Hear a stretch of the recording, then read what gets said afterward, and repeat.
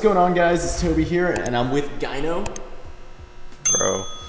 and today we're gonna be installing a shift light on Sally.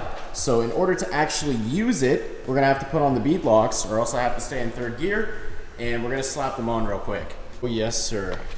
I forgot what they look like. Need help mounting it? You got it. We're installing the shift light. And we're just trying to hide it right now, so we ran it through is. the A pillar. It's ran through the A pillar. You can see that right here. Wire comes all the way down. And now we're just pulling off this. This comes off really easily. I don't really have to worry about that. Then you can pull this off too. This one's gonna be harder. Do you need to pull that? Because I just wanted you, You to just pull wanted to pull it, like, put it behind it. I wanted you to pull this bit off. But honestly, we could probably Actually? run it through that. Yeah, that's all go. I was saying. Getting caught on something. Oh, there you go. the trim. Okay, cool. All right, so that's all off. Now we can hide it and go to the OBD port. Perfect. All right, just go in like that. I'm gonna take this one. I'm gonna record this real quick. And now the wire is completely hidden to the shift light. I also give you this mounting plate, so I'm gonna use it. Usually they recommend putting it on the dash, but I don't want to because it's gonna blind me. So I might put it like here or something like that. I don't know something angled like this. I'm gonna use their provided uh, mount thing. Probably put it like this. So that's perfect. Like just angle it up because if you have it shining right at you, you'll blind yourself. Yeah, that's good. Before we go ahead and test out that shift light too, I want to add some air to the bead locks and then I'm to teach you all how to program it because you actually have to program it and hold it and stuff. So get this thing pumped up. I mentioned earlier, there's a specific set of instructions for programming this Holley Sniper shift light. So what you need to do is actually cycle through the modes and I'll explain it real quick. So I'm just gonna read them because it's the simplest way to put it forward. Select the PRG program, which is obviously the program menu, and hold the button for two seconds. Drive the vehicle in first gear at a steady speed. Quick, press a button. LEDs will blink to indicate first gear ratio is saved, and then you're gonna repeat the same thing. So what that means is that you're gonna open up the Holley thing, and you're going to, I think I might have to turn on the car actually, so it actually shows. All right, so obviously right now it's showing my RPM. This is how you access the menu by clicking on the right button closest to the wire. You're gonna go to program, which is all the way at the end, right there. You're gonna click into this, and then it's going to give you the option to set each speed for first, second, third, fourth, fifth, and sixth gear. Obviously, because this is a six-speed car. So you need to have somebody sit in the passenger seat and hold this while you're hitting the program in that menu. And basically, it'll set and learn the gear ratios for the car. Once you do that, right, you can go in here, and I'll show you guys this in just a second. This cycles it the left, uh, the right button, but you can go into here, hold down on the left-hand side, and then you can set how many RPMs you want it to shift at. So right now, I am going up to 8,000 RPM for first gear, and I'm gonna do the same thing for every gear. We're gonna go all the way to 8K. You can kind of hold it down right here, and it'll jump faster. I didn't know that. I thought you had to tap through it. But we're gonna go all the way up to 8,000 RPM. That's where I wanna shift that. That's where my aftermarket tuning is setting it to, so we're getting close. Should be there pretty soon. And one more second. There we go. So I'm gonna set all of these to 8,000 RPM. It's the same thing. I can show the process one more time just to clarify it. We're gonna do the same thing again, one more time. So let's go speed two for second gear. Hold down, one second. Hold down on the left button, away from the wire. It's set at 2,000 RPM right now. Let's jump that up to 8K one more time. But you do have to drive the car before you do this in program mode so that it learns each gear ratio for each gear. There you go, 8,000 RPM. You're gonna basically just let it sit there. I forgot for a second and watch what happens. It'll go back to reading your normal RPM. This is the first time we're gonna try out this shift light here on in Tijuana on the on-ramp. Do you want me to show it? What, the shift light? Yeah. Oh, we can definitely try it here. Ready? Yeah. I hope I hook.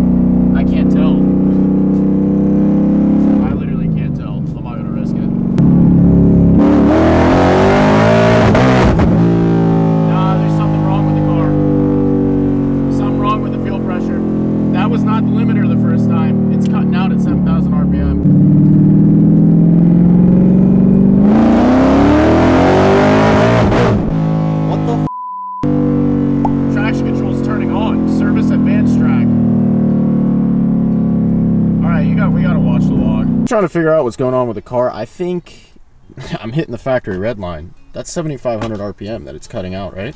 Yeah, and then it knocks, but I think- not real knock. Yeah. Okay. Can you go to the uh, the fuel pump pressure? Oh, right here. Hold up. Let me do when you're actually doing the pull. Yeah, like on throttle. All right, so that's basically on throttle. Actual. Yeah, like the pressure It's is fine, basically dude. fine. I might be on the wrong tune. Yeah, I would I would reflash it.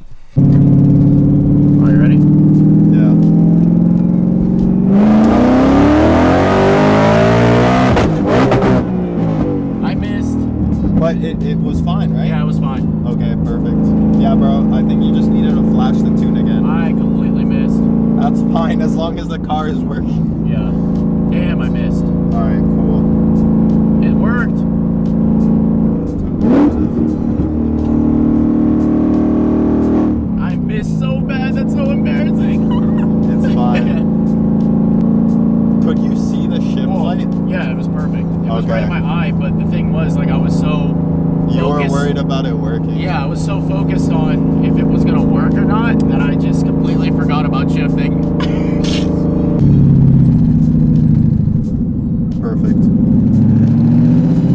Ready? Yep.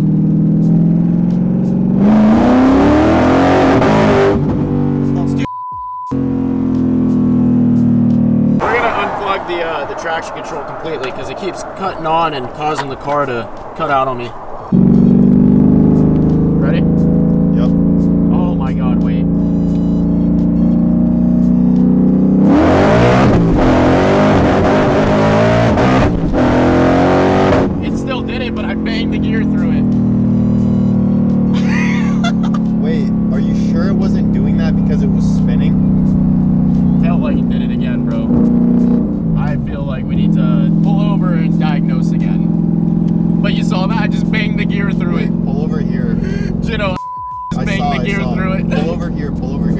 That way, like, when we want to diagnose with the log, that's fine. Just pull over here.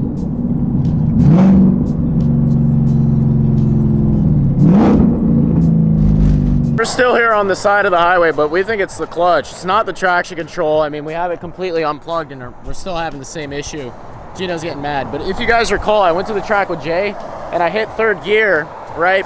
And when I hit third gear, I blew up the clutch. Like a cloud of smoke came out, we smelled clutch, and it might just be giving out now. So we're gonna test it out and see.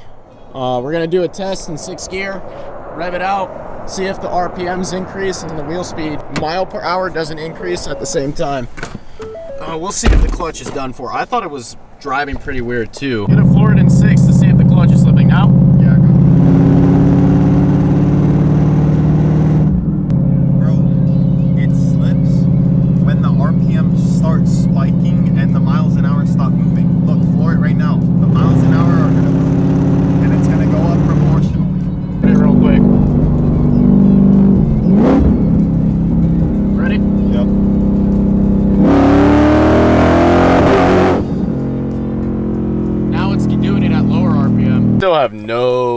what's going on with this car. No clue. We're gonna send the log to the tuner. You guys get the idea of the shift light though. We can show it revving up at idle. Alright. It was it was supposed to be a fun little install, but of course there's always something going wrong. So I have it set to 2000 RPM rev up for launch, or I guess it doesn't want to do it anymore.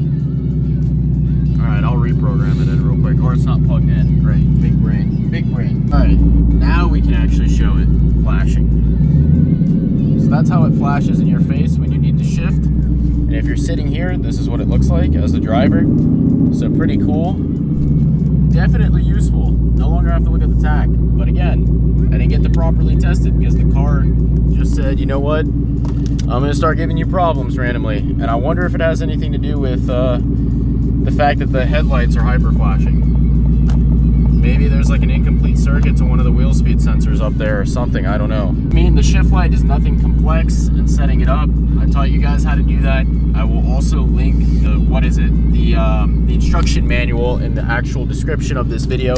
So the tutorial is gonna be clear cut. It takes you about 10 minutes to set up and I recommend having a gyno with you to sit there and program it while you drive it for the first time and then you'll have it perfectly. And then just tuck the wires and have everything set away. It plugs into the OBD port, simple as that. Picking up that shift light vlog, I know exactly what's wrong with Sally, and it has to do with the freaking fuel system again. So every time we would hit around 5,000 RPM, the car would stutter and cut out like the traction control would turn on. Well, why is that? Because we were losing fuel pressure and the ECU did not want to blow the motor sky high.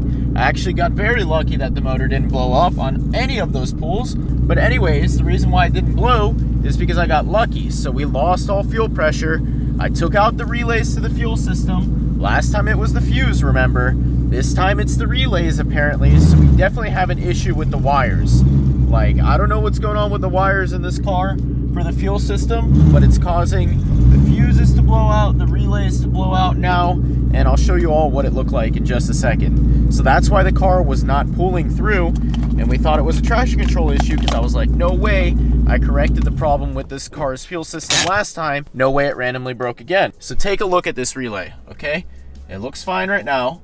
All right, let me get some light on it actually. Lighting's not the best. Uh, let me try and put this down and then flash the light on it. Point is, is if it focuses, you can see exactly where the relay burned out. So not only is that a fire hazard, but I mean, what is going on? That's about to blow my motor up. If this keeps happening, it's gonna blow the motor up. So I'm gonna send the car to Jay when I take the Camaro up there to get cammed and all that, because he's gonna do the work and he's gonna figure out why this freaking fuel system is having an issue with the wires. Like I can't emphasize this enough, but the wiring is super simple for this fuel system. So it literally runs off of the battery if we get this open and like there's no shot I mess this up. Like how does that make sense? Those are the two plugs right there where the two uh, rings that go on top of the battery and then it goes straight back to the fuel hats. There's no way that that could be messed up. There's something actually physically wrong with the wires. It may be entirely possible that there are some electricians that follow me.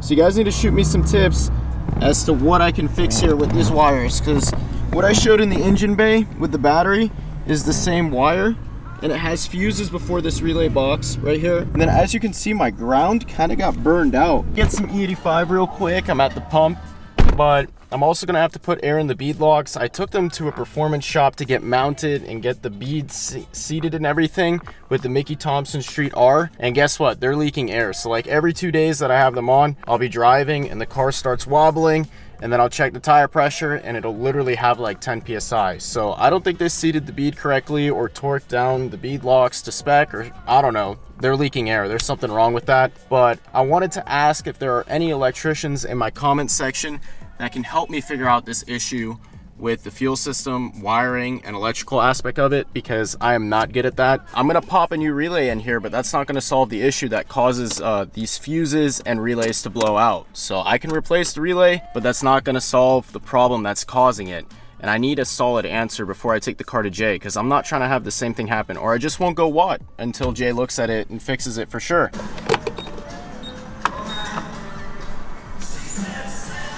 Time for you to drink up, Sally, and then I'm gonna head to Walmart to get a new relay. The car's looking good. I just wish that it would work, you know, 100%. And I know Jay will get me right so that I never have an issue again. But this is ridiculous, man. I just wanna, I just wanna use the car. And then here's another update on the car and the Mach 1 bumper. Body shop guy is not talking to me right now, so I have no clue when I'm gonna get it back.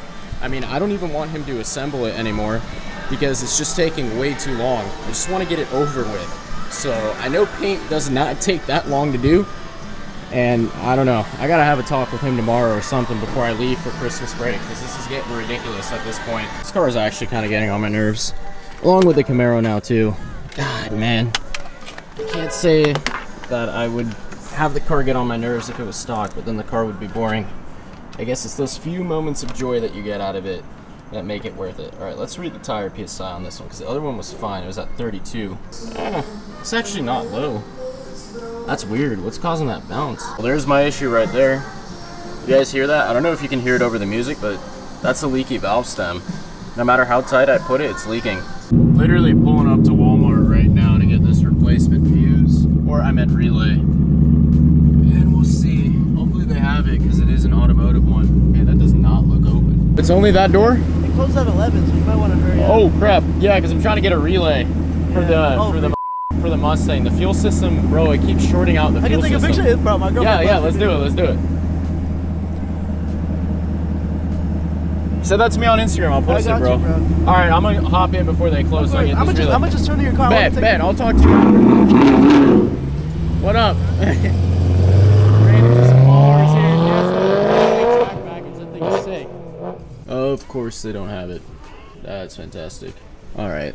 I guess I gotta go to advanced tomorrow because everything's closed now. Awake for way too long. That header install took me 12 hours on that. I want to do headers on this too, but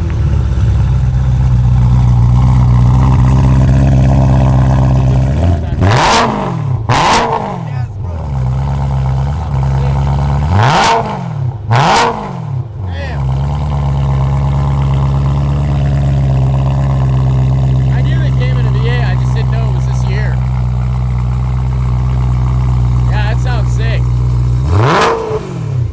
You know what I just realized? I'm driving on a street R in the rain home. yeah. You, how many? You don't live far, I'm guessing, right? Nah, I'm gonna go slow. I'll go like 30 miles an hour. It's raining. Picking up the vlog, I spoke to Jay, and sorry for the lack of good angles here. Halfway sticking out of the car, but he told me to move the ground from this bolt to the bolt on the right, which I just did, and I ratcheted it down. The bolt is on there super tight, and now the ground has been moved over. So I'm gonna try and get the camera to focus. Sometimes it doesn't want to, but as you can see, the two black wires are now running to this black bolt.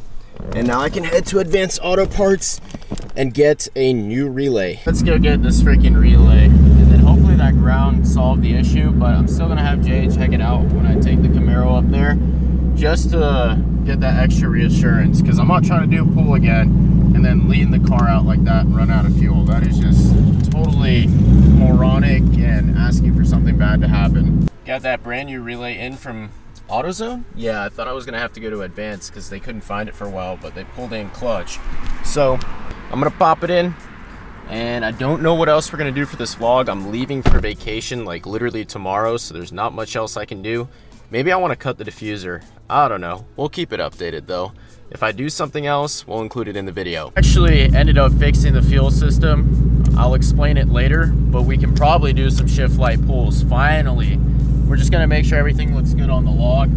It was already good on the test hit we did earlier. I just want to double check and make sure so the motor doesn't go kaboom. I'm watching the fuel pressure religiously.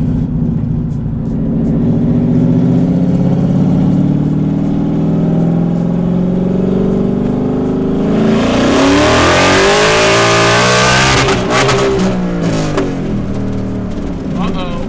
Fuel pressure was I missed. phenomenal. The fuel pressure was phenomenal. I missed. Ready?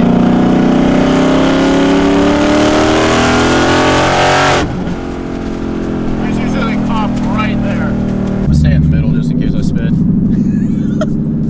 Wait. Ready? Yeah.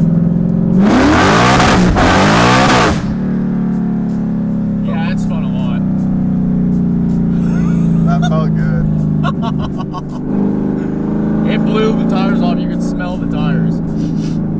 You smell the tires? Hell yeah. All right, this is first gear hit. Sally, I'm gonna show you guys how bad this thing blows the tires off. I think you could have kept going. Huh? I think you No. could have. We were sideways.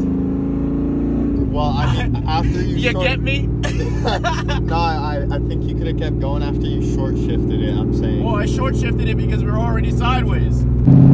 All good? Yeah.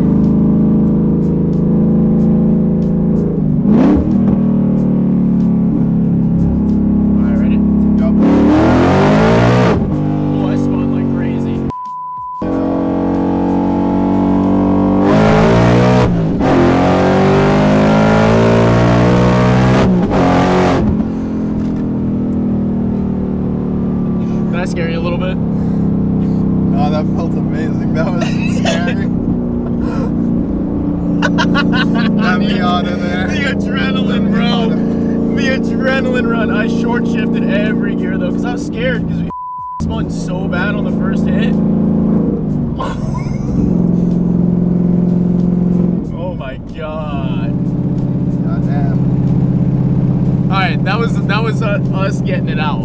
So- We, we had to get a good one. Toby going to AK is like when when she when you nut and she keeps sucking. Bruh. Bro. we we big chillin'. Big chillin'.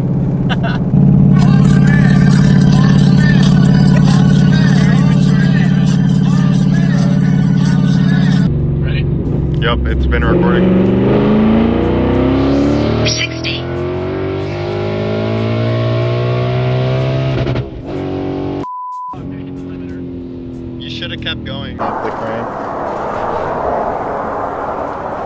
No, I blew the belt off. It just came off. Is the belt fine though?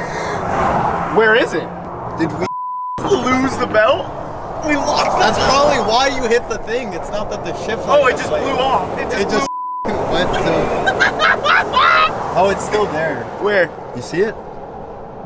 Bro, the f- belt exited the chat. Yo, that's torn up. Yeah, bro. What are we gonna do? Get a tow truck. This is You're painful, joking, bro. You're joking. Look at this. bro. I didn't I wasn't late on the shift. It just blew the belt off. And then it redline. Damn, I wonder what that run was. It probably was spicy. Oh my god. Too much boost. Fucking boost weather, bro.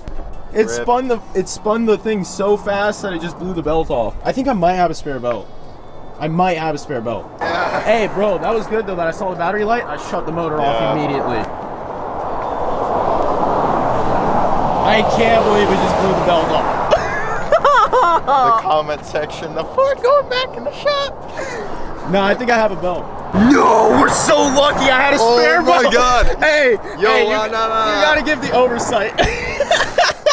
you gotta give the oversight though. How the f- did you have it? Because I, it was always a thought in my mind. What if I blow up the belt? God damn. Yeah, we got the new belt on. We had to grind it out. I put the camera down. Yeah, it's good.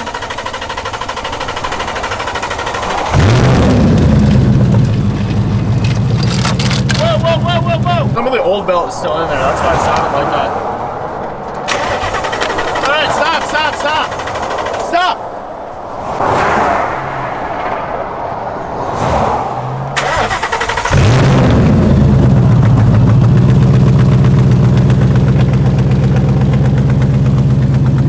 What's that noise?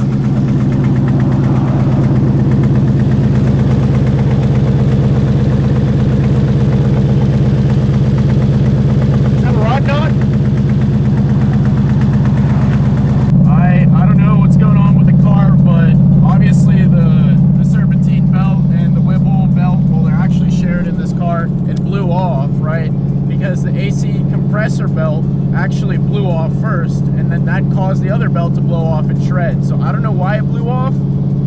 That's maybe the belt just slipped at high RPM because it's too saucy on the six rib, and um, then we started hearing a tapping noise, a very distinct tapping noise, and I thought that was a rod knock, so I freaked out. But it might have just been the dumps reflecting off the wall of the highway. We'll see though. We're dropping the car right now off at Vinny's at the body shop, and if I hear that noise, we're we're screwed. But I mean, we're holding oil pressure right now. Wouldn't we hear a rod knock right now? Yeah, you would. If there was something wrong with the car, you would probably hear it in the cabin. Well, this has been one crazy video. At least we got some pools though. And I'm gonna leave the car at the body shop. We're at Vinny's now. Uh, we're dropping it here. I'm going on Christmas vacation. And then I'll come back and have a new bumper and hopefully not a blown motor. I think it's fine though. It was pulling like a mother. So the only way to like appropriately test a motor is to push it to the limit right after you think you blow it up. And it seemed to be okay. So, you know, you can't, I'm not in the clear yet because some people do this type of stuff. They have that issue. And then the motor turns out to be blown like a week or two later after you drive a couple hundred miles. But let's keep our fingers crossed that I'm good. And yeah, I mean, there's nothing else to add here. It sounds fun. So on that note, if you guys enjoyed the video, please comment, like, and subscribe. And I'll see you in the next one.